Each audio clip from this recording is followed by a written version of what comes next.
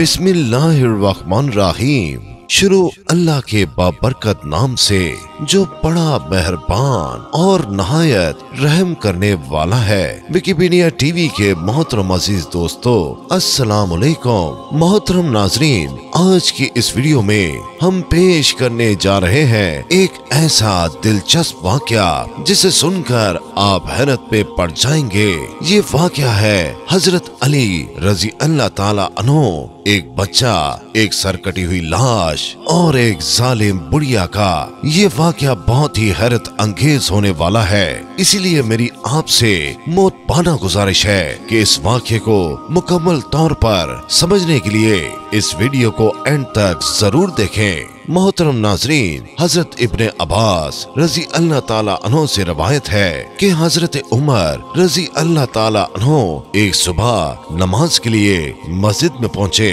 तो आपने देखा कि एक शख्स मेहराब में सोया हुआ है। आपने अपने गुलाम को हुक्म दिया कि इसे बेदार किया जाए। गुलाम ने जब करीब जाकर देखा तो पता चला कि औरतों के लिबास में एक सर कटे हुए मर्द की लाश पड़ी हुई है।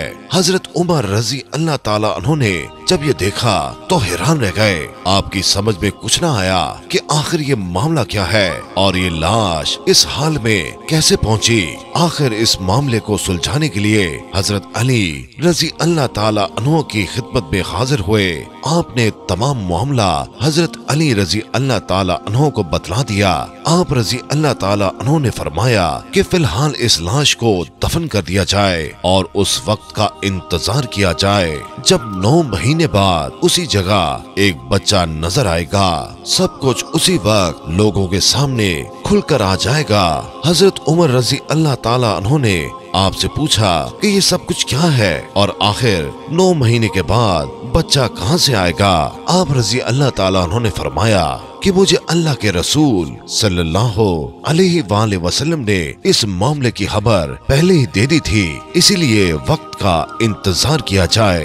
वक्त गुजरता गया और ठीक नौ महीने के बाद जब एक सुबह हज़रत उमर रज़ी अल्लाह ताला मस्जिद में दाखिल हुए, उसी जगह जहाँ कुछ दिन पहले एक सर कटे मर्द की लाश मिली थी, उसी मेहराब से एक बच्चे की रोने की आवाज़ आई। आप करीब गए और उस बच्चे को उठाकर बे इख्तियार फरमाया। बेशक अल्लाह के रसूल सल्लल्लाहु अलैहि वसल्लम भी सच्चे हैं और उनके चचा के बेटे हज़रत अली रज़ी अल्लाह ताला भी सच्चे हैं। आप इस बच्चे को लेकर हज़रत अली रज़ी अल्लाह ताला के पास गए। हज़रत अली रज़ी अल्लाह ताला ने फरमाया, इस बच्चे के लिए एक इंसार दाइया का इंतज़ाम किया जाए और इसका तमाम खर्चा बैतुल माल से अदा किया जाए। आपके हुक्म के मुताबिक ऐसा ही किया गया। कुछ दिनों बाद, ईद रमज़ान आए हज़रत अली रज़ी अल्लाह ताला उन्होंने फरमाया, इस बच्चे को अच्छी पोशाक पहनाकर ईद के दिन मस्जिद में ले जाया जाए और दाइया को हुक्म दिया कि जो औरत इस बच्चे को प्यार करे और ये कहे कि, ए मजलूम माँ के बेटे, उस औरत को मेरे पास लाया जाए। दाइया आपके हुक्म के मुताबिक बच्चे को अच्छी पोशाक पहनाकर मस्जिद ले गई। वहाँ उसने देखा कि एक खूबसूरत लड़की ने पास आकर उस बच्चे को प्यार किया और वही अल्फाज दोहराए। जब वो जाने लगी दाइया ने उसका दामन पकड़ लिया और कहा कि मैं तुझे हज़रत अली रज़ी अल्लाह तला के सामने पेश करूँगी। लड़की परेशान हो गई और कहने लगी कि खुदा के लिए ऐसा ना करना। मुझे हज़रत अली रज़ी अल्लाह तला के सामने हरगिज न ले जाना। मुझे शर्मिंदगी होगी। दाइया उसे छोड़ने पर राज़ी न हुई। आखिर उस लड़की ने काफ़ी पैसों का और अच्छे कपड़ों का लालच दिया और कहा कि तू तो हज़रत अली रज़ी अल्लाह तला को कुछ न बताना और ये बताना के, कि मुझे कोई औरत मिली ही नहीं थी। और अगर इसी तरह ईद उल अजहा के दिन भी तू मुझे अपने बच्चे से मिला देगी तो मैं तुझे इससे भी ज़्यादा दूँगी। दाइया इस लालच में आ गए और वादा किया कि हज़रत अली रज़ी अल्लाह तला के सामने कुछ न बताऊँगी। दाइया हज़रत अली रज़ी अल्लाह तला की खिदमत में हाजिर हुई। हज़रत अली रज़ी अल्लाह तला ने पूछा तो दाइया ने जवाब दिया कि मस्जिद में न किसी औरत ने इस बच्चे से प्यार किया और न ही किसी ने वो अल्फाज अदा किए। जो आपने इरशाद फरमाए थे। आपने दाइया का कलाम सुनने के बाद फरमाया कि तू सब कुछ झूठ कह रही है। सच तो ये है कि वो जवान लड़की आई, तूने उसका दामन पकड़ा। उस लड़की ने तेरे सामने इल्तजा की और तुझे इनाम का लालच दिया और फिर तू मान गई। और तूने ये भी वादा किया है कि तू बकरा ईद पर इस बच्चे को उसकी माँ से मिलाएगी। जिसके बदले में वो लड़की तुझे बहुत सारा इनाम देगी। आप रज़ी अल्लाह ताला की ज़ुबान से सच सुनने के बाद दाइया घबरा गए अर्ज़ की, हजूर, मुझे माफ़ फरमा दीजिए। अब मैं कभी झूठ न कहूँगी। आप हुक्म दे तो मैं उस औरत को गिरफ़्तार करके आपकी खिदमत में लाती हूँ। आपने फरमाया नहीं, अब तुम ईद का इंतज़ार करो। जब वो तुम्हें मिले तो मेरे पास ले आना। बस अब क्या था? वक्त गुजरता गया। ईद उल अजहा का दिन भी आ गया। दाइया बच्चे को अच्छी पोशाक पहनाकर मस्जिद में ले गई। अभी कुछ देर ही गुजरी थी कि वो जवान लड़की आई और बच्चे को अपनी गोद में लेकर प्यार करने लगी। दाइया ने उसका दामन पकड़ लिया और कहा कि आज मैं तुझे न छोड़ूँगी। आज मैं तुझे हज़रत अली रज़ी अल्लाह ताला के पास लेकर ज़रूर जाऊँगी। लड़की ने लाख कहा, मगर दाइया न मानी दाइया उस लड़की को साथ लेकर हज़रत अली रज़ी अल्लाह ताला की खिदमत में हाजिर हो गई। आपने उससे मुहातब होकर फरमाया जो कुछ भी गुजरा है तुम्हारे साथ, मैं बयान करूँ या तुम करोगी। लड़की ने अर्ज़ की, मैं खुद बयान कर देती हूँ। लड़की ने बयान शुरू किया, मेरे वालिद हज़रत उमर बिन साद रज़ी अल्लाह ताला अल्लाह के रसूल सल्लल्लाहु अलैहि वसल्लम की हम रकाबी में शहीद हुए। मेरी माँ हज़रत अबू बकर रज़ी अल्लाह ताला के दौर में इंतकाल कर गई। मैं तना रह गई। पड़ोस की लड़कियों के साथ मनूस होकर उन्हीं के साथ वक्त गुजारती रही। हम साय के सब लोग मेरा बेहद ख्याल रखते। एक दिन का ज़िक्र है कि मैं हमसायों की लड़कियों के साथ बैठी थी कि एक बूढ़ी औरत आई। उस औरत के एक हाथ में लाठी और दूसरे हाथ में तस्बी थी। हमारी तरफ़ आई। सब लड़कियों से मिली। सबका नाम पूछा। सबकी हैरियत पूछी। और आखिर में मुझसे मिली, मेरा नाम पूछा तो मैंने बताया कि मेरा नाम जमीला है। मेरे बाप उमर बिन साद थे, जो शहीद हो चुके हैं। मेरी माँ भी इंतकाल कर चुकी है। उस बुढ़िया ने पूछा, क्या तेरी शादी हुई है? मैंने कहा, नहीं।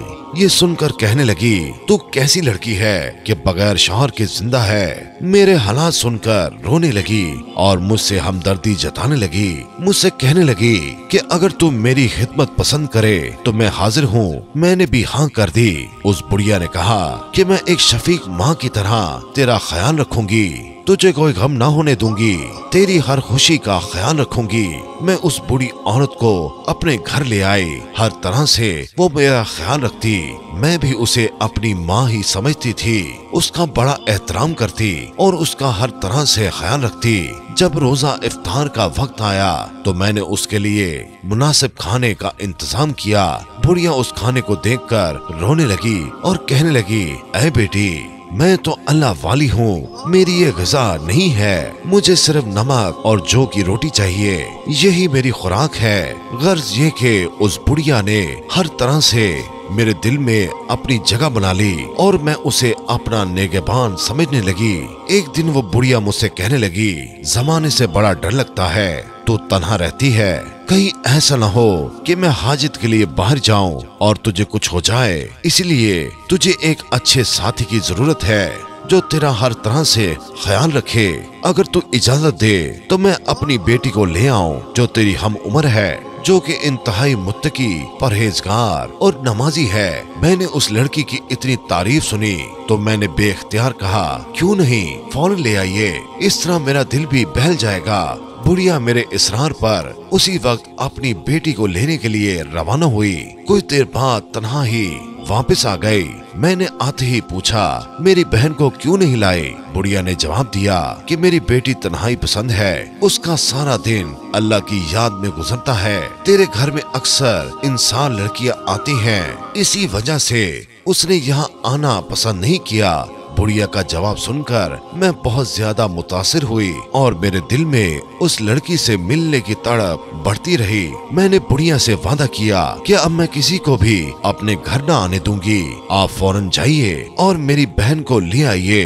बुढ़िया मेरे इसरार पर उसी वक्त रवाना हुई। कुछ देर बाद ही बुढ़िया एक जवान औरत को अपने साथ ले आई। उस औरत ने अपने जिस्म को चारों तरफ़ से छुपाया हुआ था। सिर्फ़ उसकी दो आँखें नज़र आ रही थीं। ये जवान औरत दरवाजे पर आकर खड़ी हो गई। मैंने कहा, बहन, अंदर क्यों नहीं आती? बुढ़िया ने जवाब दिया, लड़की बहुत खया वाली है, उसे शर्म आती है। ये कहकर बाहर चली गई कि मैं अपने घर को ताला लगाकर अभी आती हूँ। बुढ़िया के जाने के बाद मैंने उस औरत से कहा कि, बहन, बुरका उतार कर आराम से बैठ जाओ। ये तुम्हारा अपना ही घर है। उस औरत ने सर के इशारे से बाहर के दरवाजे को बंद करने के लिए कहा। मैं समझ गई कि बाहर का दरवाज़ा खुला हुआ है। ये चाहती है कि बाहर का दरवाज़ा बंद कर दिया जाए। मैं दरवाज़ा बंद करके अंदर के कमरे में दाखिल हुई।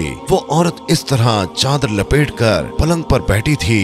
मैंने हाथ से उसकी चादर खींच ली। चादर खींचते ही मैं ये देखकर परेशान हो गई कि ये औरत तो नहीं है, बल्कि स्या दाढ़ी वाला, बुलंद कामत मज़बूत जिस्म वाला मर्द है। मैं उसे देखकर आपे से बाहर हो गई। मैंने कहा कि क्यों मुझे यतीम बच्ची पर जुल्म करता है? अल्लाह का खौफ कर क्यों मेरी रसवाई करता है? कोई देख लेगा तो मैं कहीं की नहीं रहूँगी। खुदा के लिए खामोशी से यहाँ से निकल जाओ। मैं उससे इल्तजा करती रही, पर उसे मुझ पर रहम ना आया। उसके करीब से उठकर भागना चाहती थी, मगर उस जालिम ने अपने मज़बूत बाजुओं से मुझे जकड़ लिया। उसे मुझ पर रहम ना आया। उसने मुझ पर अपनी गिरफ्त मज़बूत कर दी। मैं बेबस और मजबूर हो गई। चीहो पुकार इसलिए न किया कि हमसायों को पता चल जाएगा और मेरी बेइज्जती होगी। मैं उसके चुंगल में बुरी तरह गिरफ़्तार हो चुकी थी। बिल आखिर उस जालिम ने मुझ पर जुल्म किया। मेरी दोशीज की चाक कर दी। वो अपनी मस्ती में मदहोश था। मैंने मौका पाते ही करीब ही पड़ी हुई छुरी से उस पर वार कर दिया और पहले ही वार में उसकी गर्दन तन से जुदा कर दी। जब रात हुई तो उसकी लाश मस्जिद के मेहराब में रख दी। कुछ दिनों बाद एहसास हुआ कि हमल ठहर चुका है। कई मर्तबा हमल को साकत करने की कोशिश की, मगर खुदा के हौस से ऐसा न कर सकी। आखिर ये बच्चा पैदा हुआ, उसे भी कत्ल करने का सोचा, मगर खौफ खुदा से ये न कर सकी। आखिर उस बच्चे को भी उस मेहराब में रख दिया।